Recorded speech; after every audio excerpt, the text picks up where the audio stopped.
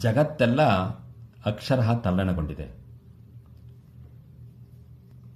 ವಿಧಿಯ ಅಟ್ಟಹಾಸದ ತೀಕ್ಷ್ಣತೆ ಎಷ್ಟರ ಮಟ್ಟಿಗಿದೆ ಅಂತಂದರೆ ನಾವೆಲ್ಲರೂ ಗಮನಿಸಬೇಕಾದ ವಿಷಯ, ಈ ಇಂಪಾರ್ಟೆನ್ಸು ಪ್ರಾಮುಖ್ಯತೆ ಅನ್ನೋದು ತನ್ನ ಅರ್ಥವನ್ನೇ ಕಳೆದುಕೊಂಡಿದೆ.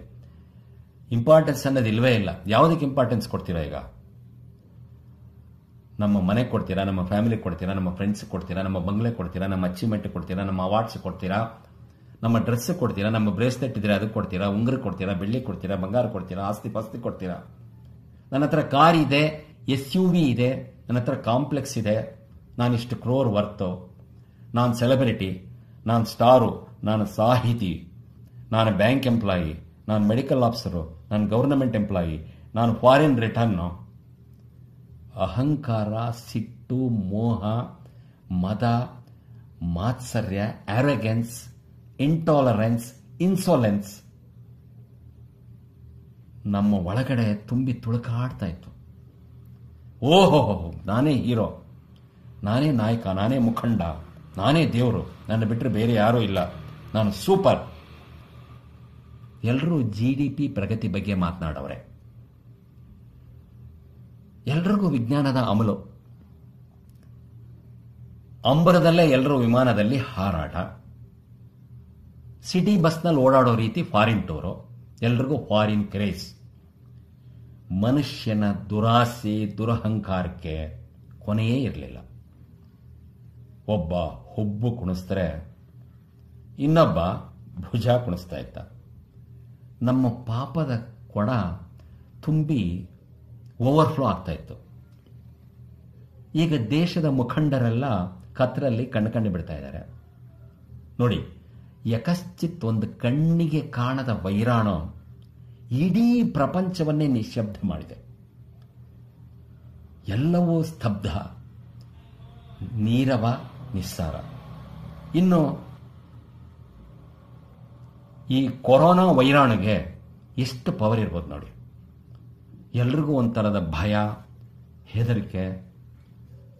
ಮುಂದಿನ ಭವಿಷ್ಯ ಯಾರಿಗೂ ನಿಶ್ಚಿತವಾಗಿ ಗೊತ್ತಿಲ್ಲ.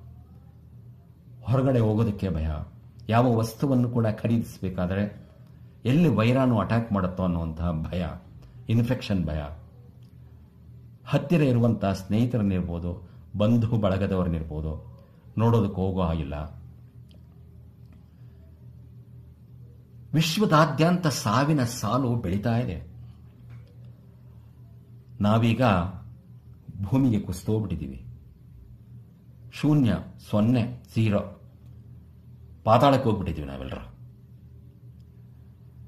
ಸ್ನೇಹಿತರೆ, ನಾನು ನಿಮ್ಮನ್ನು ಡಿಮಾರಲೈಸ್ ಮಾಡ್ತಾ ಇಲ್ಲ.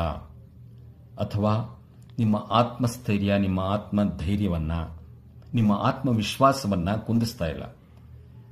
ಈ ನಾನು ಇಷ್ಟೊತ್ತು ಹೇಳಿದೆ ನೋಡಿ ನಿಮಗೆ, ಈ ವೀಕ್ನೆಸಸ್ಸು ಇದರಿಂದ ನಾನು ಕೂಡ ಹೊರತಲ್ಲ. ಪ್ರಖ್ಯಾತ ನಟರಾದ ಅನುಪಮ್ ಖೇರ್ ಅವರು ಈ ಸಂದರ್ಭದಲ್ಲಿ ಒಂದು ಮಾತು ಹೇಳ್ತಾರೆ. ಈ ಪುರಾಣದಲ್ಲಿ ಬರುವಂತಹ ಅಮೃತ ಮಂಥನ, ಕ್ಷೀರಸಾಗರ ಮಂಥನ, ಸಮುದ್ರ ಮಂಥನ ಅಂತ ದಾನವರಲ್ಲಿ ಮತ್ತು ದೇವತೆಗಳಲ್ಲಿ ಪೈಪೋಟಿಯಿಂದ ಅಮೃತವನ್ನು ಪಡೆಯುವಂತಹ ಒಂದು ಮಂಥನ ಕ್ರಿಯೆ. ಈ ಮಂಥನ ಮಾಡಿದಾಗ ಅಮೃತದ ಜೊತೆಗೆ ವಿಷ ಕೂಡ ಬರುತ್ತಂತೆ. ಈ ವಿಷ ಬಂದಾಗ ಸಾಕ್ಷಾತ್ ಪರಮಾತ್ಮನೇ ಪರಮೇಶ್ವರನೇ ಆಗ ಬಂದು ಆ ಹಾಲಾಹಲವನ್ನು ಕುಡಿದು ವಿಷಕಂಠ, ನೀಲಕಂಠ ಅಂತ ಪ್ರಖ್ಯಾತನಾಗ್ತಾನೆ. ಈಗ ನಮಗೆ ಬಂದಿರುವಂಥ ಈ ಕೊರೋನಾ ಮಹಾಮಾರಿ ಒಂಥರ ವಿಷ. ಈ ಅಮೃತ ಮಂಥನ ಮಾಡಿದಾಗ ಅಮೃತದ ಜೊತೆಗೆ ಬರುವಂಥ ಈ ವಿಷವನ್ನು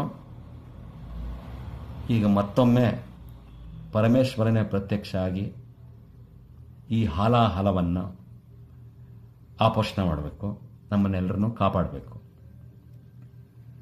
ಬನ್ನಿ, ಈ ಅಮೃತ ಮಂಥನದಲ್ಲಿ ವಿಷವೆಲ್ಲ ಆದಷ್ಟು ನಿರ್ಮೂಲನವಾಗಿ ಅಮೃತ ಮಾತ್ರ ಉಳ್ಕೊಂಡು ನಮ್ಮಲ್ಲಿ ಮತ್ತೆ ನ್ಯಾಯ, ಸತ್ಯ, ಧರ್ಮ